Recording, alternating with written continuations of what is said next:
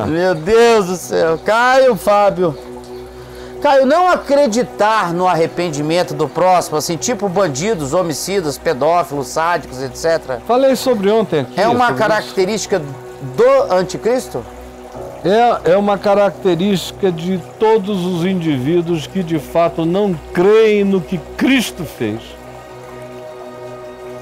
E aí, quem não crê deliberadamente no que Cristo fez, dizendo que sabe o que Cristo fez e por que ele fez, e qual o significado da obra e da cruz e da ressurreição e do perdão e da graça, mas ainda assim diz: esse benefício é só para gente moralmente aceitável.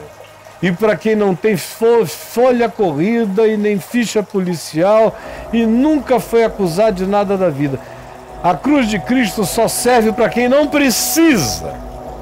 Porque esses outros que já se entortaram em que precisam são pessoas em cujas conversões nós não devemos acreditar.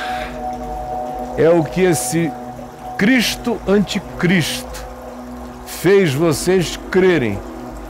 E nessa ideologia está fazendo muitos de vocês, inclusive por ela, votarem, escolherem quais são os caminhos de vida e de história que vocês querem para o país.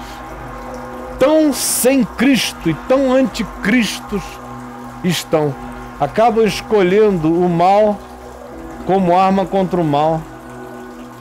Acabam relativizando todas as coisas, porque o absoluto de Jesus foi dissolvido.